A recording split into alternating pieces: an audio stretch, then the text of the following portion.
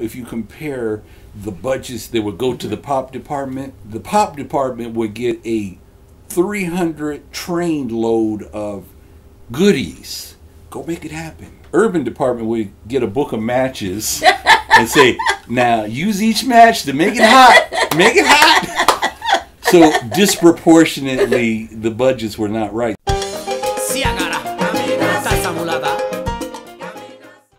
How did you start in the record business? Sweeping a record shop Did you really? when I was 11 years old, and it was in Los Angeles on Hobart and Santa Barbara, which is now Martin Luther King. The record shop was called Jeff's Records, but Jeff Thomas Jr. was actually one of the original Little Rock Nine. In high school, they were having music during lunchtime, so this guy by the name of Bill Wiley was playing music. Well, he's playing the song that everyone knows, uh, I Want to Make It With You. The Whispers has made it, Bread made it. And at that time, there was an artist from New York named Ralphie Burgon. right. And Ralphie had it, but the beginning of Ralphie's version had a very distinctive guitar lick. And Bill said on, over the PA system, You know, this sounds like Buddy Miles' Down by the River I Shot My Baby, which is a Neil Young song. And I happened to have it, so I actually went up to the office and I said, Oh, I got that song. He said, Well, why don't you bring it in? And I started bringing in records. And he said to me, Look, can you do this for me? And I'm in the 10th grade, fresh, right at Dorsey High School here in Los Angeles. He said, Look, I am part of the senior government football team, and I'm the DJ too. And he says, The only time I have to see my girlfriend is during lunch and I'd rather hang out with her than do this. Do you mind doing this? I said, "Okay, sure." And that's that's how that started. I was a the lunchtime DJ in 1971 in the 10th grade at oh Dorsey. Oh my God!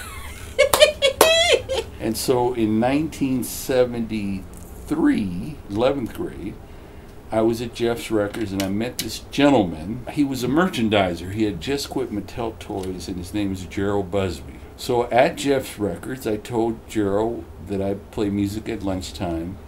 He says, Well, can I come by? And he came by and he was impressed that all these kids were sitting out on the lawn, the courtyards, and enjoying their lunch, enjoying the music that I was playing. So we had a really great connection. And then by the 12th grade, Gerald started giving me boxes of records to give away at lunchtime. And I had like a 45 minute lunch there. And it was amazing because they had a lot of excess merchandise and records from the Wattstax Festival in 1972, I think, or 73, that they did at the Coliseum, which had 100,000 people. Gerald started bringing artists to the school to perform at lunchtime. The student government tried to intervene and said, "Well, we can make some money off this, and let's charge the kids." And I said, "No, we're going. This is open for everybody, and we're going to do it for free." And it just really worked out beautifully. And then Gerald thought up of an idea, having a weekend little segment on a local station here in LA, 1580 K Day, for high school kids to do a little hour show. And I was on there a couple times, but it worked out better at KAGB, which was owned by Clarence Avant. I ended up being on the radio in the 12th grade in high school. I was doing a Saturday morning show. I think I did like two hours, but it was amazing and I had a great time. Back then, FM radio was kind of like our friend Frankie Crocker. Mm-hmm. Mellow, smooth. They're kind of like people that are here in LA, the wave. Right. You know? So here it is, this kid instead of saying how you doing? Everything's cool baby i was screaming and yelling on fm radio which was like oh my god that's what the guys do on am so there happened to be this guy by the name of skip miller who was the regional guy for western regional guy for motown at the time. At that time the radio station was on la cienega and Century. So as you're exiting the Los Angeles airport, you got to drive by there. He had just come off a plane. He heard me on the radio. He stopped by and he said to me, "I just wanted to meet you." I said, "Oh, Grace, nice to meet you." I didn't know, you know. And he said, "Look, what do you want to do with your career? Do you want to have a career in radio where you uh, go all the way, become a music director, program director?" the whole-" I said, "Skip, look." I'm just having fun. I don't know. He said, I like that answer. Right out of high school, I created my own company and I emulated my lunchtime show called the High School Radio Network. So in 1974, when I graduated, I started that, and Motown was my very first client. I'm at my mother's house, and I realized that I had 22 record companies paying me $150 a week to distribute and promote records in the high schools, but I got 60 high schools. I convinced them to have a noontime program. Wow. And so the kids would only play the songs I, I brought, yeah. yes, that you brought them. Yes. Yeah. So that was very unique. And actually, Miller London in 1979 had Jean Williams, I think. She was at Billboard and she did an article on me. And boy, that 22 turned into like 50. And it was great. It was just phenomenal. And then Gerald Busby at that time had moved from Stax to Casablanca. And he cut a deal with me that was really great because he says, Look, during the summer you got no money coming in. How about if we put you on retainer at $100 a week? So at least you got $100 a week coming in during the summer. And it's like a $5,200 deal. I said, I'll take it. I'll take it. It's great why not? That's how that connection happened. It was really magical. And then fast forward to 1980, I realized that every time I go up to Motown, I, I saw that they had done some layoffs and they let go of the Western Regional promotion guy. That vacancy was there for a year. I said, hey, Skip, uh, that job is. Uh, is not filled. I, I, was wondering if I can have that job. And so I think about it. He says, I don't see anything wrong with that.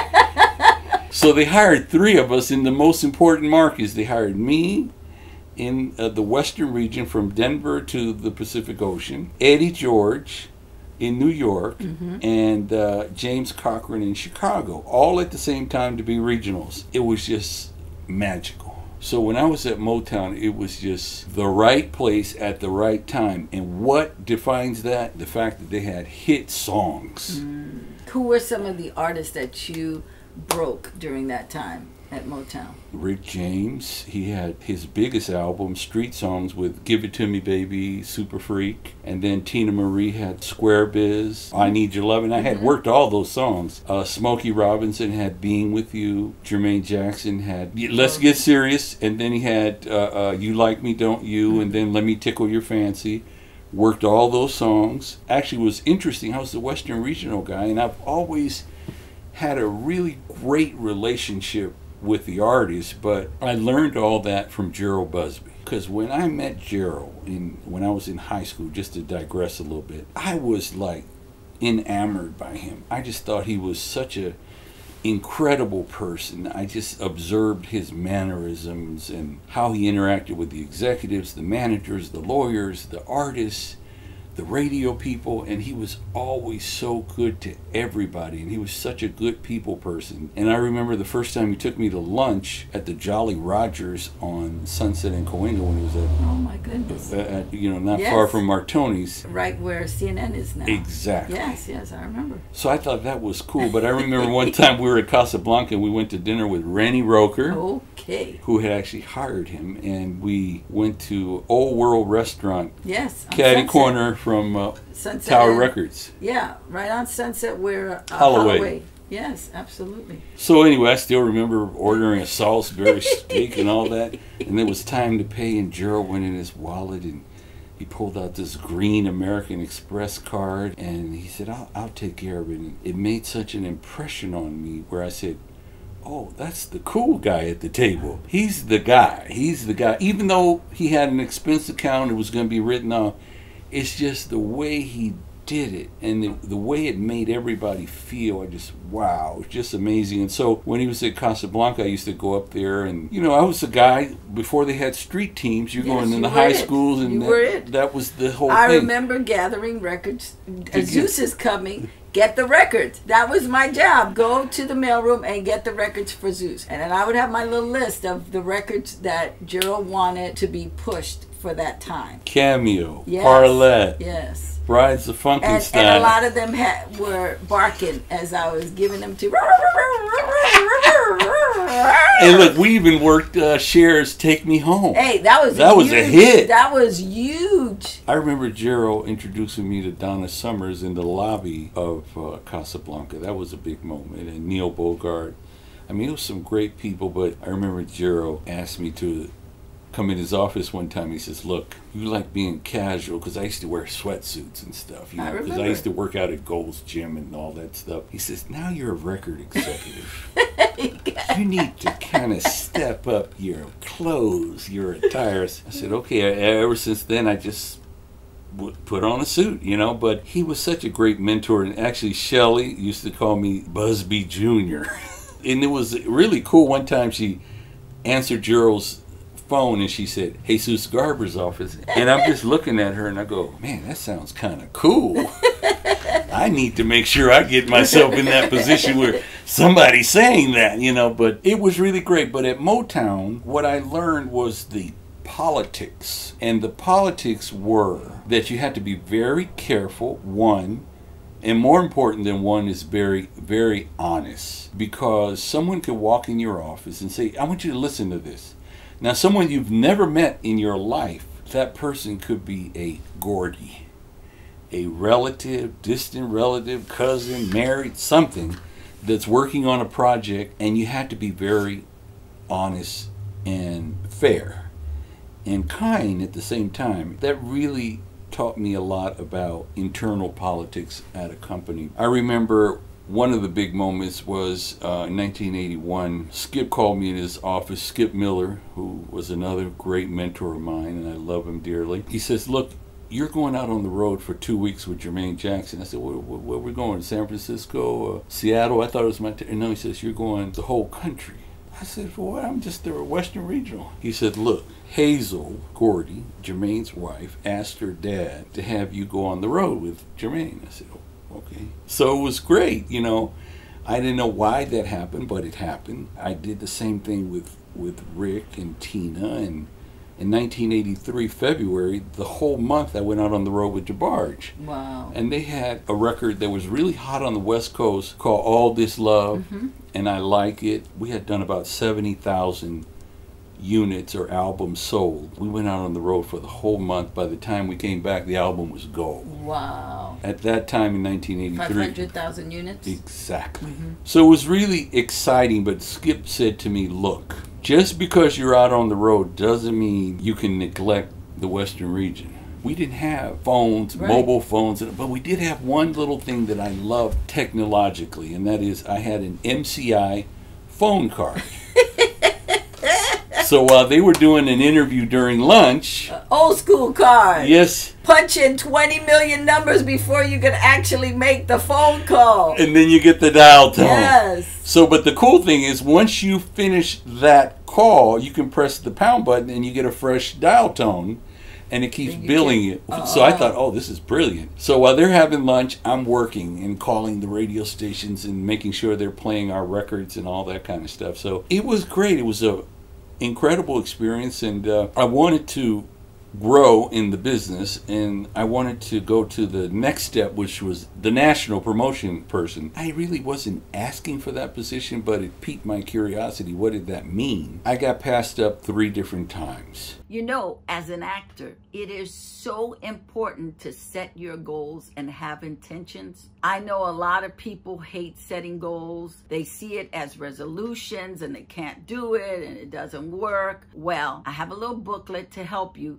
because I've been doing goals for oh my God, at least 40 years. And I have found that setting goals really helps me when I am intentional, I am focused, and I'm on point. So I have put together a little booklet to help you out, and it's free. So why don't you type your name, your email address, and press the button, and I can send it to you right away. Gerald Busby at another company, actually he was uh, had left A&M and went to MCA, said you need to go to A&M. Gerald was all about what's the Movement. next Yes, phase? moving up. moving up how are you evolving how are you growing as an executive you can't stay stagnant so it was one of the hardest decisions i ever made in my life to say yes and not till i had a conversation with clarence avant he says look herb alpert and jerry moss are good people he said they personally helped me and i'm telling you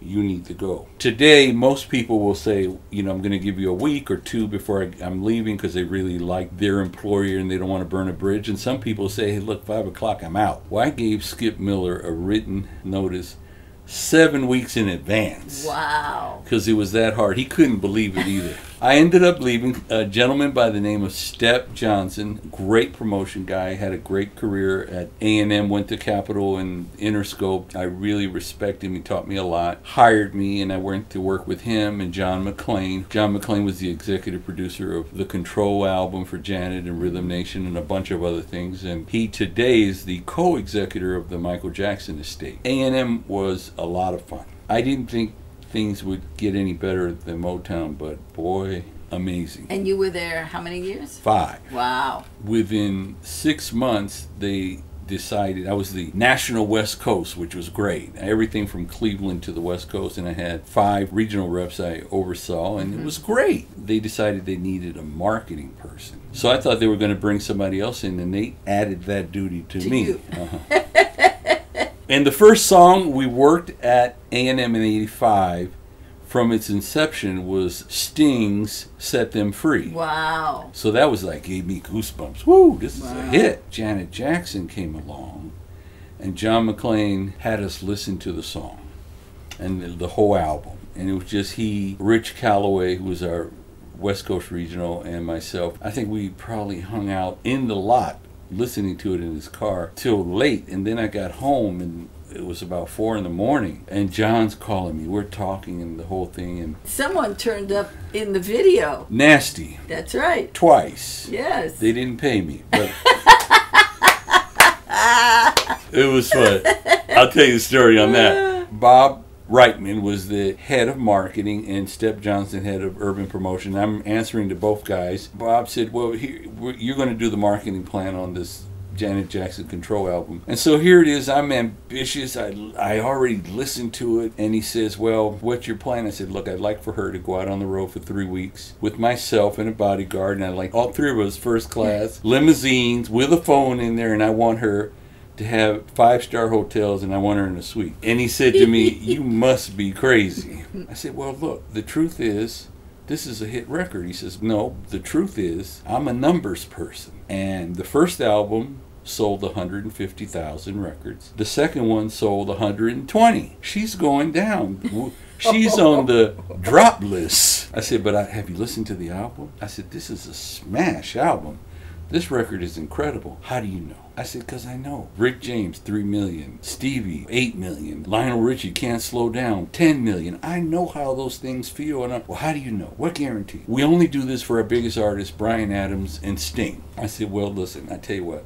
If it doesn't work at the end of the tour, when I come back, you can fire me. I won't have any recourse around the, uh, against the company. I'll say bye. Thank you for the opportunity. We made sure that we integrated urban, R&B radio, and pop pop press, urban press, everything. And I still remember the first market we went into and before we got out of the limousine i said to janet look i got to tell you something in preparing you for this first interview. It was john landis uh, morning q at, at houston. And she says what? I said i need you to do me a favor. She says what's that? I said well your brothers they have a history of answering questions by one word. Alrighty thank you I said, that ain't gonna cut it. I want you to walk into these radio stations like a United States Senator, extend your hand and say, Hi, I'm Janet Jackson. What is your name? What do you do here? She did it. I mean, knowing she was an right. actress before, right. she was spot on and it was electric because people were interacting with the Jackson on a whole different personal mm-hmm, level. Mm-hmm. And she was interested in what they did and thanking them for the support and stuff. And it, it was just. That album ended up doing 20 million. No, in the early 80s, uh, it was my father who took me to A&M Records when I was this, this unproven 14-year-old. Herb Alpert, Jerry Moss, they had enough faith in me to give me a record deal. And I'm forever grateful to you and to the entire A&M family, which includes you, Jesus Garber. Wow. Wow. And do you think you were ready to help her because you saw what happened with Jermaine? Because you took him on the road. Yes, but you know, every one of my steps was a preparation for something else, and that preparation was for Janet because that really was explosive. The fans were incredible. I mean, because even with DeBarge, the reaction of the fans when we would do in stores, which were record shops where people used to buy music. Right. I know you guys download and stream now, but it was the correct way to buy records because you really supported your artists. Right. But now you're just kind of not helping your artist by not buying the whole album. But the main thing is, it was the closest thing in 1983 with DeBarge as it is to experiencing being in the movie Hard Day's Night with the Beatles, where you have the pandemonium and you're running into the to the limo and you got a crowd of 500 girls beating on the windows, screaming, you know. In-store promotions were exciting back in the day. I mean, to bring in an artist and have a lot of people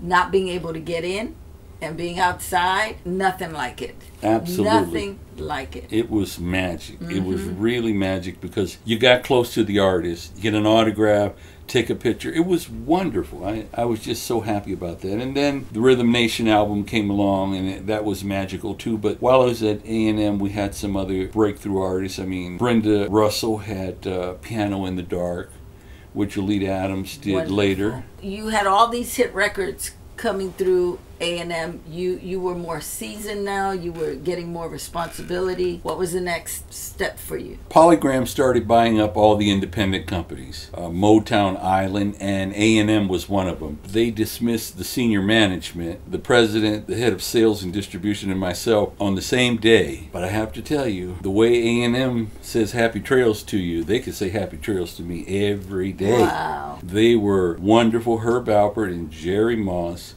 are the salt of the earth. They've done so many good mm. things for so many people mm. quietly without asking for any acknowledgement, but they made an incredible impact on my life. So I went over to Zoo Entertainment, which was part of BMG. I worked the Phyllis Hyman record. We gave her her first number one. Don't want to change the world, just want to be your girl. The album went gold, and then uh, I stayed there for a year and a half. I consulted over at Scotti Brothers Records, which they had Weird Al Yankovic and a couple other people, but the big thing that they had was Baywatch, the TV show. They asked me to stay on. I was supposed to be there for seven weeks and ended up being there seven months. And they said, Well, we want you to stay and we're going to sell the company and we're going to give you some stock. And it was very tempting, but I got an offer to go work at the Walt Disney Company. How amazing. So I prayed on it, and in my sleep, the answer came, and I said, I gotta go. And I went to the Walt Disney Company, and I was a part of The Lion King and Pocahontas. Now, they were just starting a record company when you went over there? It was about two years already in. Okay. Peter Paterno, who is a very accomplished, successful lawyer, he currently is the lawyer for Dr. Dre and also for Eminem and a bunch of other successful artists. He was the president at the time, and he really got it. He had done a joint venture with Maurice Starr. And Maurice Starr was a big producer of that time. Maurice Starr was the manager, producer, and writer of the New Kids on the Block. And I remember going to Boston to meet with him, and he said, You know, the thing I'm most proud about with New Kids on the Block is besides I had all the publishing, the management, we're touring, we're doing great. He said, In the height of the world tour, guess how much we netted in merchandising? I said, I don't know. Two, three million, four? He says, no, we did a billion dollars. Wow. So I said, okay, right on, Wow. right on, Peter Paterno. You're getting the right people here. Wow. And we had, you know, uh, uh, Low Down Dirty Shame and a couple other soundtracks. So basically, we were working soundtracks, and they never really signed urban artists, or the commitment wasn't there. Peter, unfortunately, had written a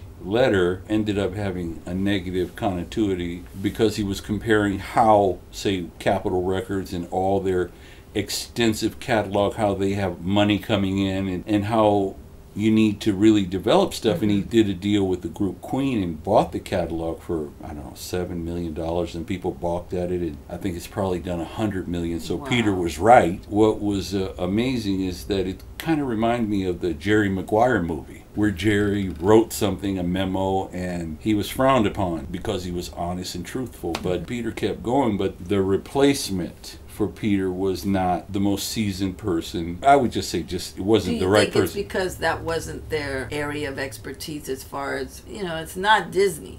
Disney is movies. It's cartoons. It's animation. But nobody sells records like Disney because while the record business unfortunately shot themselves in the foot by cutting the credit out to all the retailers, Mm-hmm. Disney has a retail system.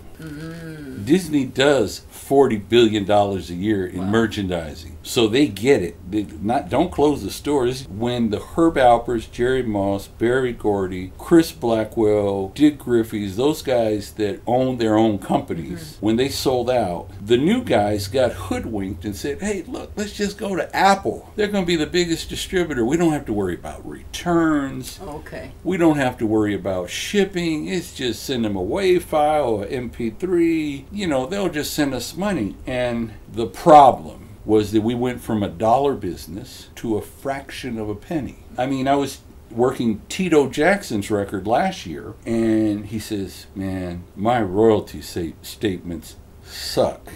They're nothing compared to how they used to be. So, can you imagine you take not a dollar, Wow. but a penny and mm. make it into 10 fractions? Wow. You know, it takes a long time to even get Right. one penny. Right. The problem with the music business is that it's not leading, where Apple is leading because Apple has a retail system.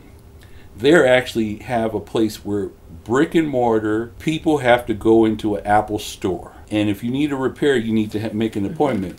But if you want to buy a new product, you come on in anytime Yes, it's all in the same place. it's all set up perfectly for mm-hmm. Apple, but not for the record business. Mm-hmm. Say, for instance, when I was coming up, people had a tremendous respect for art. One of the things that people in everybody's homes that they were proud of is their music collection. It mm-hmm. was art. You want to hear Miles Davis, Dizzy Gillespie, the Supremes, Marvin Gaye, whoever, you pulled it out, carefully put it on Yes. the turntable. Yes. Or if you had a CD, it was still great because you had liner Yes. notes. You know who wrote it, who arranged it, who who was BMI, ASCAP, who who's got Mm-hmm. the publishing. It was a story. It's like looking at a Ren- Renoir, Cezanne, Picasso, Mm-hmm. Jack Pollock, whoever. That's art, and we're now disrespecting and the liner it. notes were usually Oh. written by somebody Famous. influential. Yes. Yes. Who knew the background? Yes. So it made that whole experience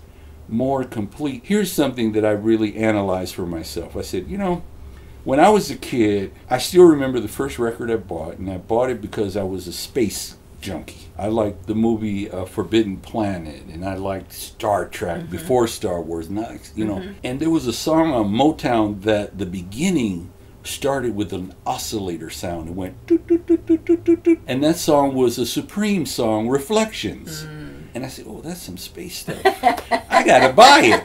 And I bought. Then my first record was a Motown record. But the thing is, what we used to have was a encapsulated memory in our brain, which is the deepest part is the hippocampus, and we think about the fact that I remember that day. It was a sunny day. It was summer. I remember that moment when I bought it or when I went into the record shop and there was a lot of people at Tower Records or Virgin Megastore or Strawberries, whatever record, big record chain you went to or the local mom and pop. It was an experience and it was part of your life. Anyone that's looking at this blog is honest with themselves cannot say, hmm, I remember the moment I pushed the download button on that song.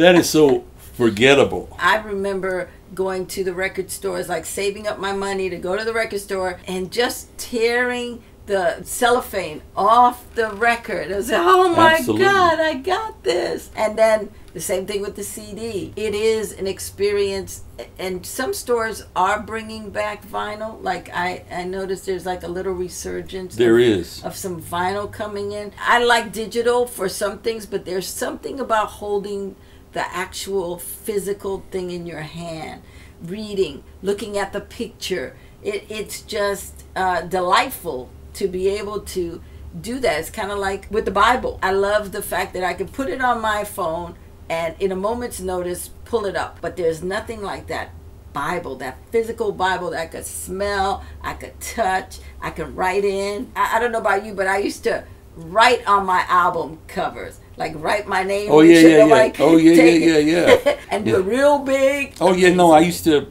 make little notes which what yes. were the hits. Yes, yes. But you know, it's just and then there were some album tracks that never saw any kind of activity at radio, but you knew there was some yes. hit songs yes. on there, you yes. know. So Al Green, when he had the Call Me album, there was a song called "Have You Been Making Out Okay." It was a masterpiece. Mm. Or Jesus is Waiting. Yes. I mean, was like, oh my God, this is amazing. It's a disservice to your customers' record business. It's a disservice because you've gone from a forty billion dollar a year global business, barely eking out a, a billion or two billion dollars. So it's your fault. Lack of leadership, lack of vision.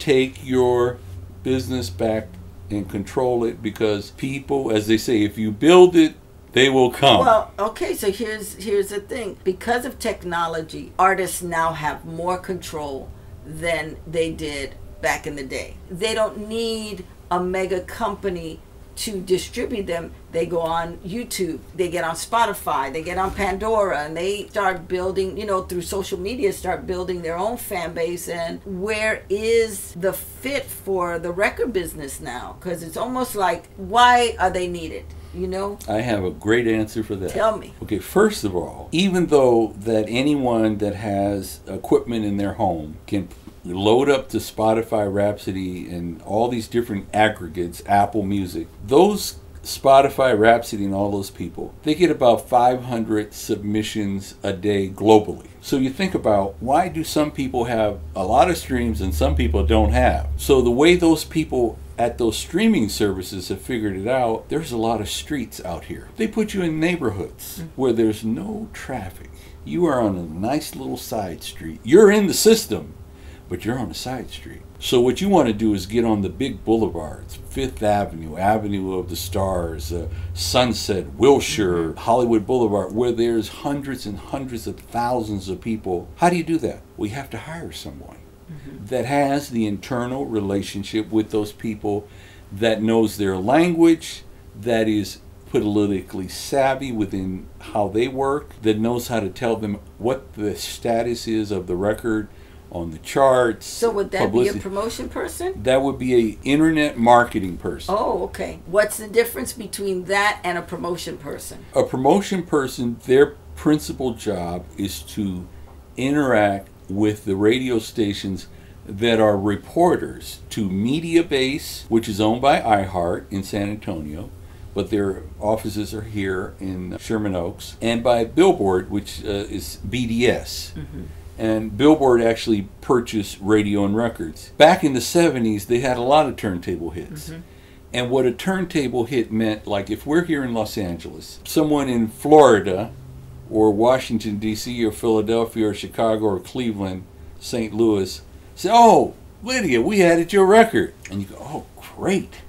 And then you ship records into that market to all the record shops, but it's not selling. They, Those guys basically what they called was paper ads. So actually, along comes Nielsen BDS, and I remember Terry, which Ro- is a system that lets you know what is being played. Uh, played, but it's more sophisticated than that. BDS leased the service. It's a computer system that was used by the Defense Department to track nuclear submarines around the world. Basically, in Kansas City, what they would they had the main base, and what they did was they had monitoring stations in all these different markets. And what it did in actuality was you sent your song, and then it was encoded and it created a pattern. Just like with the submarines, the submarines, even though they're nuclear and stealth as they move, they create a sound pattern. So they know there's a Soviet one there and a German one there, and that one's ours. It's so sophisticated. So they did that to music. So the paper ads went away. So the guys that were lying, they had no recourse because you could say, "Hey, Joe, you ain't playing my record. How you know?"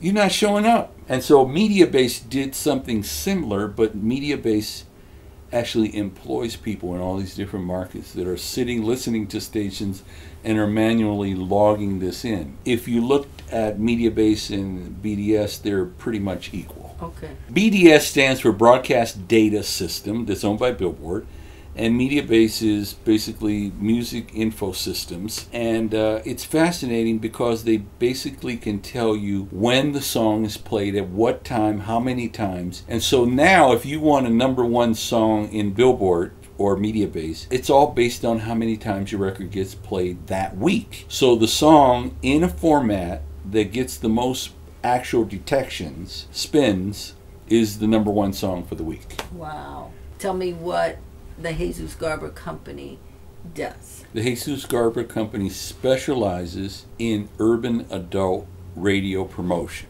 I found that to be my lane. A lot of my competitors work both urban AC and urban. 1995, BDS and MediaBase decided to split the formats.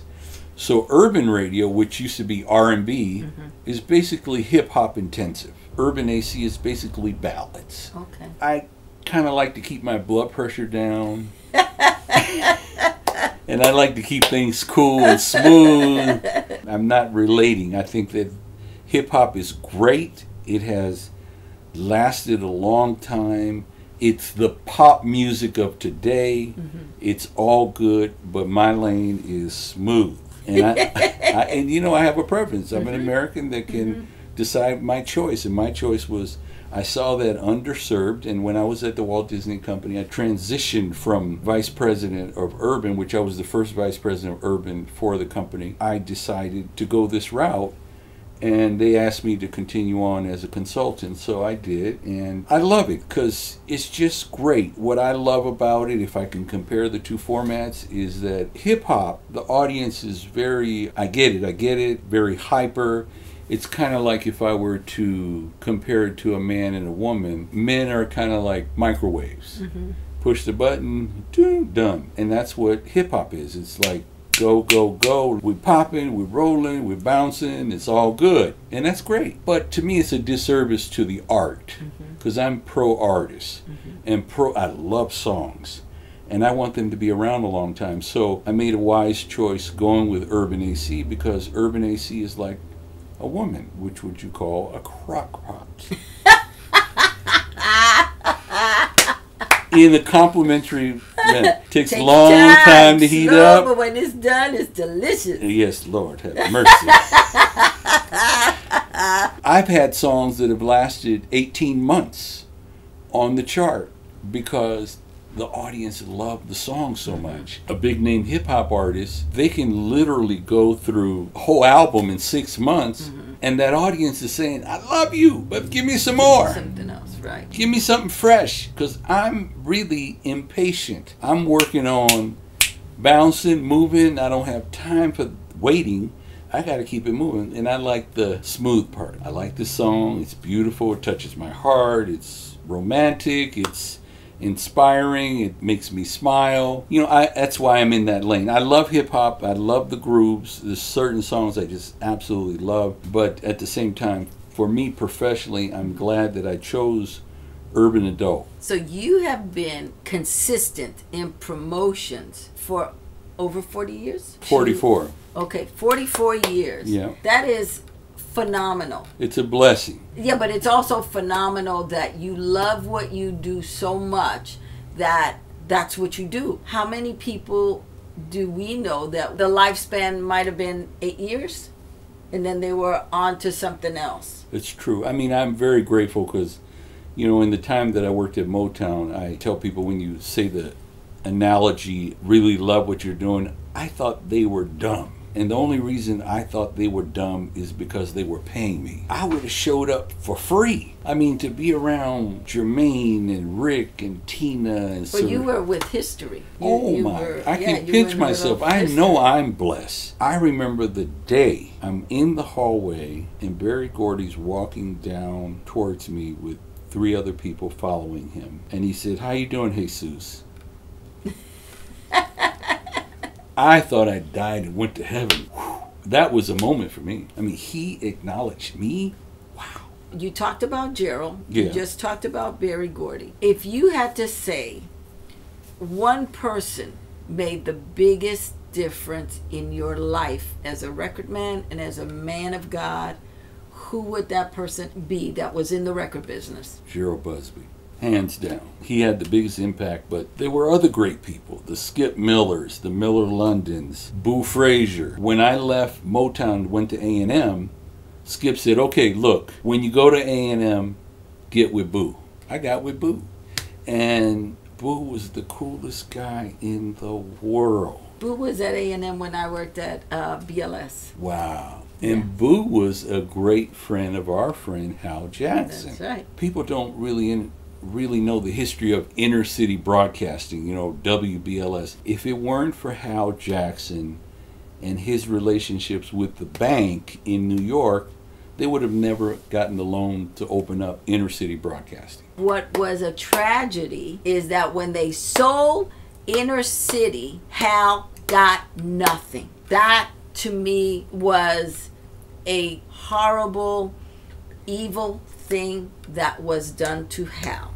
Yes, it was. He put his life, his sweat, his blood, his tears into inner city. And at the end of the day, none of that was remembered. And I tell you, that was the nail that closed his coffin. That when that happened, Hal it. went physically down. Yeah. That was it. It took everything out of him. And I will say something that Hal always used to say all the time is put time on it, they'll get theirs back. But I still, you just when you said that, it made me think of you, the judge, and myself went to lunch at Le Dome one time. Oh my. What a privilege that was. What a smart guy he was. And Percy Sutton, what a brilliant man Yes, he, he was. was. The whole thing is, you know, it, it it's really about numbers, and it was an unnecessary loan to expand inner city that took place, and that loan had a lot of strings attached to it that forced them wasn't smart. and it Yeah, was it wasn't was not needed. deal. Yeah. I mean, you know, remember BK Kirkland, Yes. who's now on I love XM. BK, I love BK. He was the program director. I was at KBLX when they first came on in San Francisco in 1979. They switched over from KRE to KBLX, and I remember it was a young lady by the name of Beverly Myers was the first program director. Then BK came along. What the story is that they were proud of Harvey. Stone was the general manager and BK was the program director. KBLX was such a hit radio station.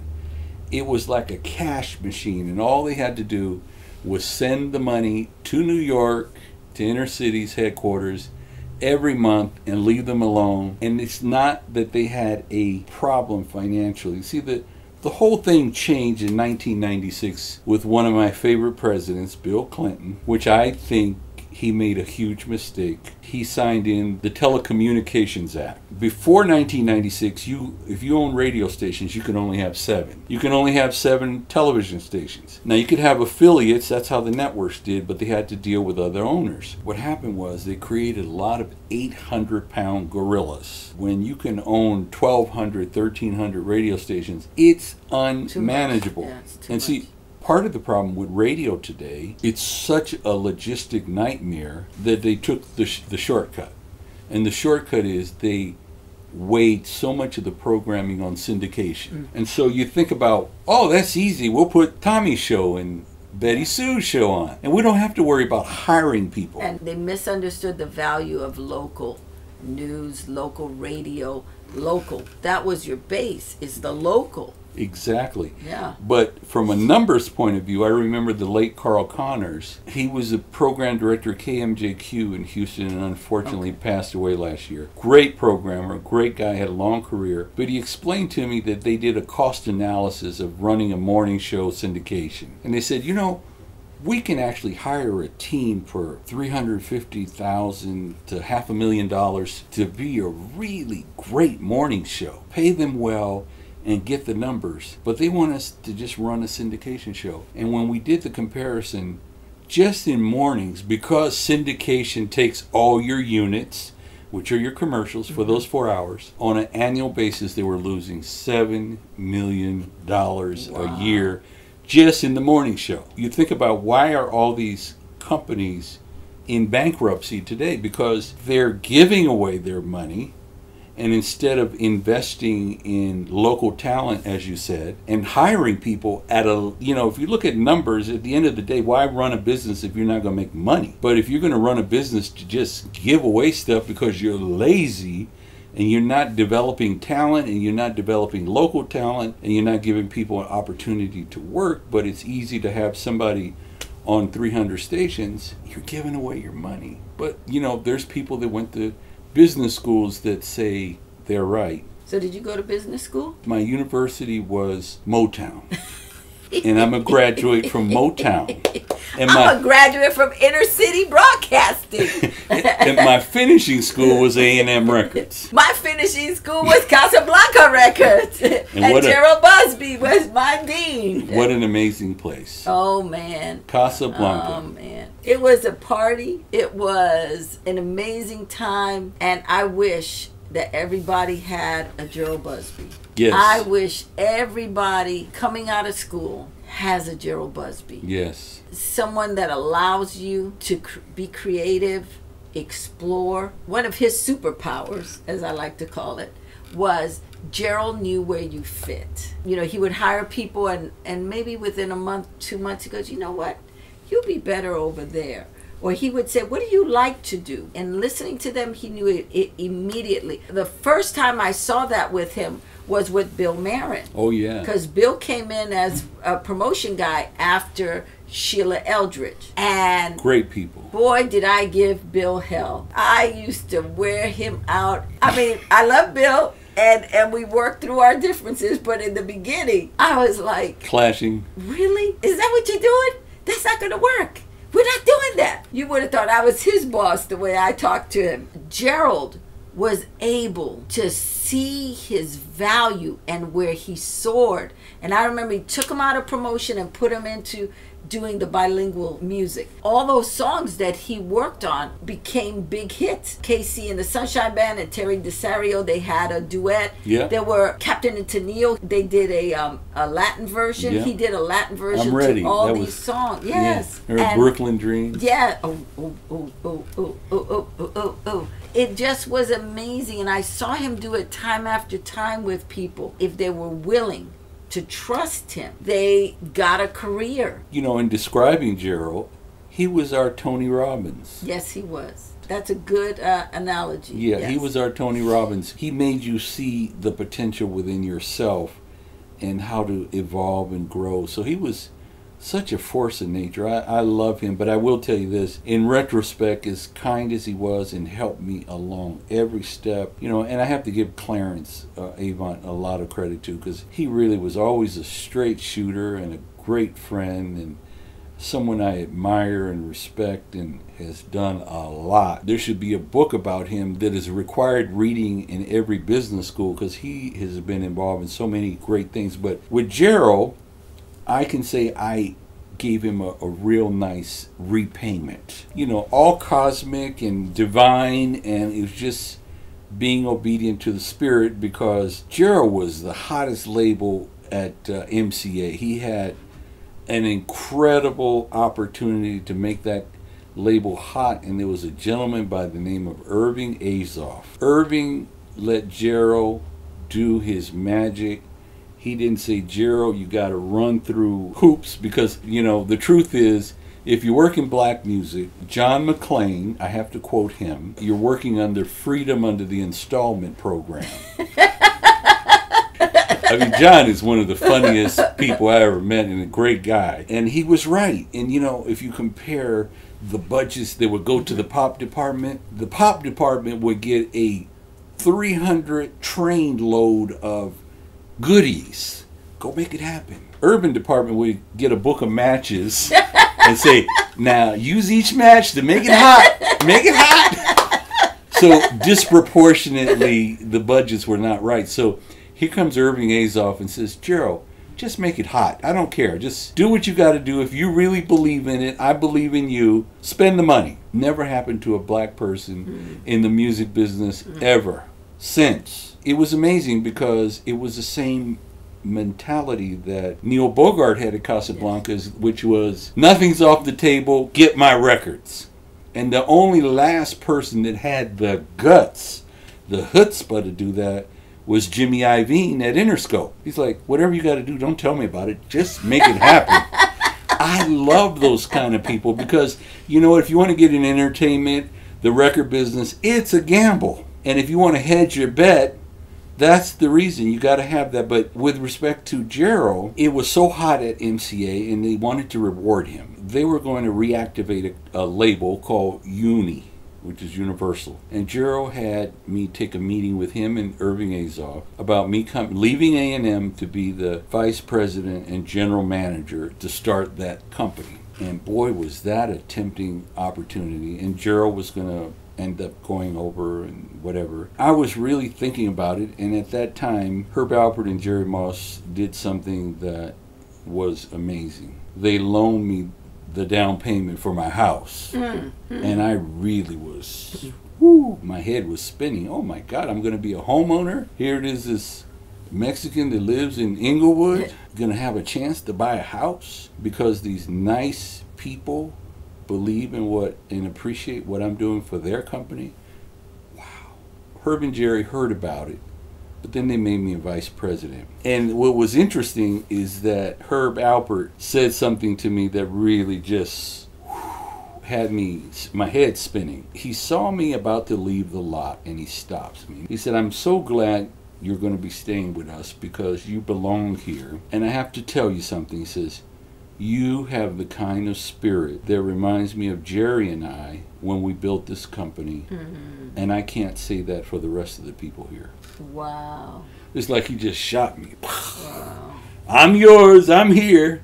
So I had to tell Jheryl and Irving I'm staying. And Jheryl's like, why are you staying? This is well. The good thing for Jheryl, because I didn't take that job, he MCA ended up acquiring Motown, and Mr. Gordy wanted that there was a 10% minority ownership. And Clarence Avant negotiated that. And Jheryl got it, right? Jheryl got it. Yes. And Mr. Gordy had sold the company for $61 million, which actually broke my heart because I'm looking at Variety the next day.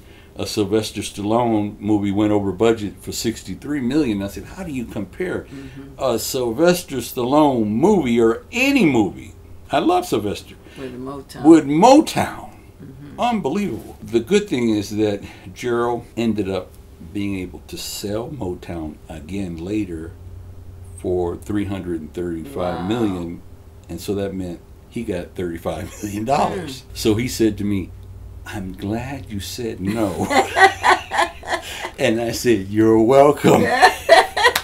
and that's you know I give that glory and, and credit wow. to God because that was divine and it worked out for me at A and M and it worked out for him and mm-hmm. it was mm-hmm. just a blessing. But I wanted to go back to an earlier question. We talked about streaming and the difference and all that. And why would someone need a big record company today? Yes. Okay, here's my answer to all those would be artists, writers, and all that. Mm-hmm. The record company is basically a bank. And if they believe in you, they will spend the money to market and promote your product at radio, at the internet, publicity, support your tour, live shows, the whole thing. And you need that. I've seen superstar artists that will leave a label, have a beautiful recording studio in their garage, and say, Oh man, I just cut a hit. Great. You send your record to all the radio stations. Unless you have someone speaking for you their language, they're not going to play it. Mm-hmm. Michael Jackson can come back today if they don't hire a promotion person or Prince, our biggest mm-hmm. artist, mm-hmm. you're not going to get anything. They'll listen to it and say, "Oh yeah, sounds great," but nothing will happen. I want you to tell that artist out there who is trying to get in the business, trying to get a record, what are maybe three things they need to know before they jump into the pool? The entertainment business, regardless of what facet, is for serious people. So if you're just playing at it, or if you think you're just going to shoot a little high eight video with a bunch of girls in bikinis at the pool and you're just trying to get over, you're wasting your time. But if you're serious about the songs you write from your heart, the songs you sing and perform, and you really want to do this, if you catch a hit, you're going to be singing that song in front of people all over the world.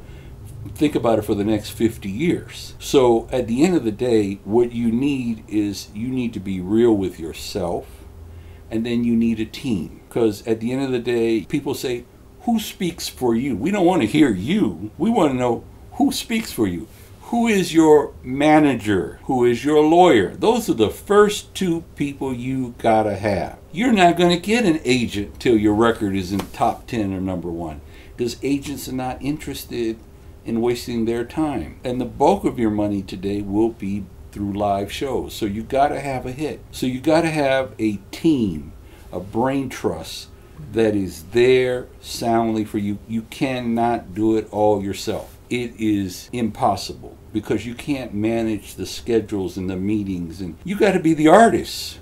You got to be creative and creative people. If you want to be successful you got to be happy. You got to be chilled. You got to be in a good state of mind a good frame of mind where you're calm and you allow those thoughts and words to come to you i mean you know dizzy gillespie wrote night in tunisia in 1940 on a napkin on top of a garbage can. Biggest song for him.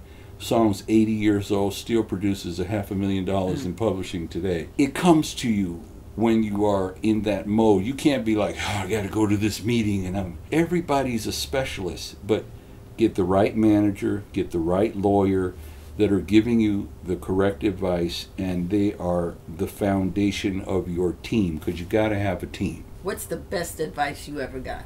from Jheryl Busby. Early on at Stax Records, he said the person that taught him the cornerstone of promotion was a woman by the name of Effie Smith. She was a promotion person in Memphis. And she said, Never promise anything you cannot deliver, but deliver everything you promise. And that's been my credo still today. Tell me your favorite quote. My favorite quote is Great spirits have always encountered violent opposition from mediocre minds. Mm.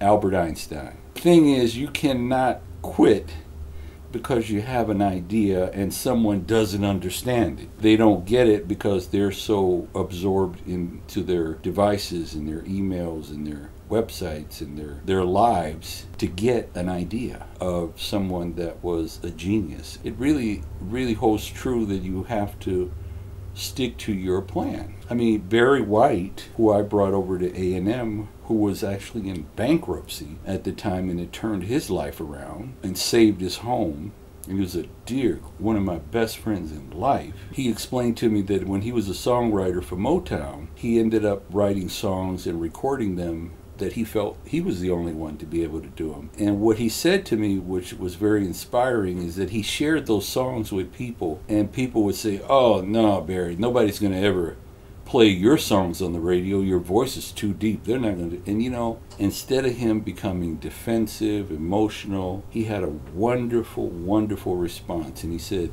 You might be right.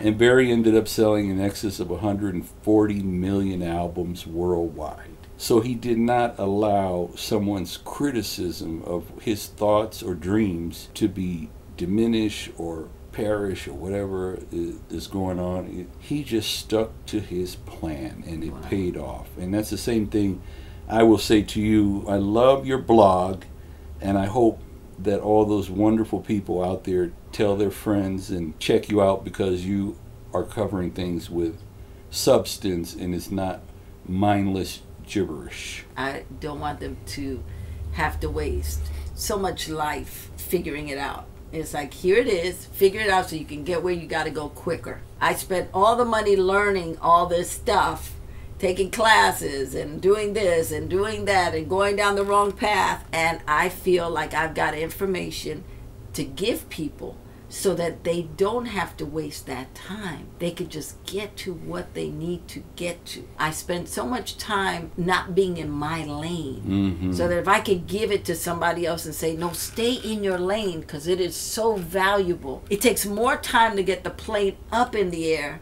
than to keep it in the air. So much uh, fuel has to be used. And as performers, sometimes we waste so much energy trying to get something up. And then as soon as we're getting ready to just coast, we bring the plane back down. I was driving down La Brea just down the street from the old A&M and I stopped at the light on Santa Monica and I'm waiting and I see this guy in a wheelchair wheeling himself across. Mm-hmm. Now he was about this much away from the the curb that he was trying to get to, but he saw the blinking lights and he literally turned the wheelchair around and went back to where he started from. And I was in the car yelling, "No!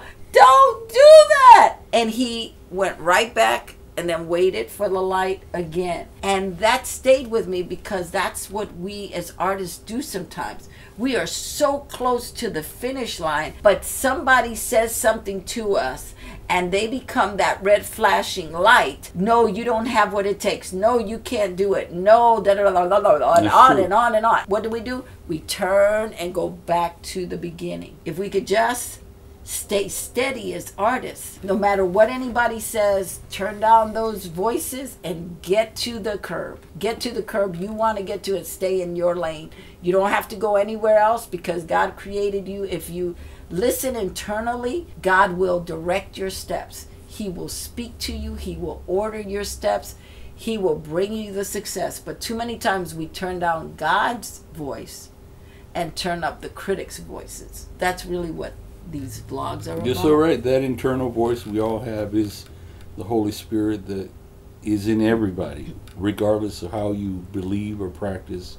It's in everybody. But Lin Manuel said something uh, on 60 Minutes that was relevant to what you're saying, and that is, he said when he saw what he wanted, he didn't walk towards it, he ran mm-hmm. towards it. He went, and I said, wow, that's what I did. In the Heights took him a bunch of years, and then Hamilton took seven years. It's that thing also of being patient in your lane and not worrying about it's got to happen tomorrow because I got to pay the rent tomorrow but just going no it's gonna happen. Just slow and steady wins the race you know? Take Absolutely. your time. Do it right do it right, right baby. you can do, do it clancy about sos band that's right. But you know what you said about the seven years dizzy gillespie uh, said and I, I got this from boo frazier he said there is no shortcut to real success. And that's what you want real success. You don't want fake success, which is people lying to you, misleading you,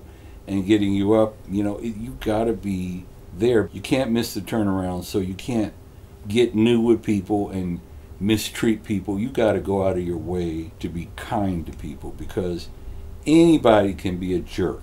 That's the easiest thing anybody could use profanity. Anybody can put someone else down. And I remember Gerald calling me one time when he was at A&M and I was at Motown. He says, it is much harder for a person to be kind and nice than to be a jerk. Because anybody could be a jerk. But to take it on the chin and remain solid in your character as the person who you are and not compromise and put people down or belittle them that's important. One of the things uh, that Hal always used to say was, "It's nice to be important, but it is important, important to, to, be, be nice. nice." This is so true. One of the most humble people I ever met in my life. Met everybody in the entertainment business, helped everybody. And I remember he had a, a, a show called International Talented Teens and he was so proud of that. And when he needed some support from the companies, we always supported Hal. It's like, oh, Hal, we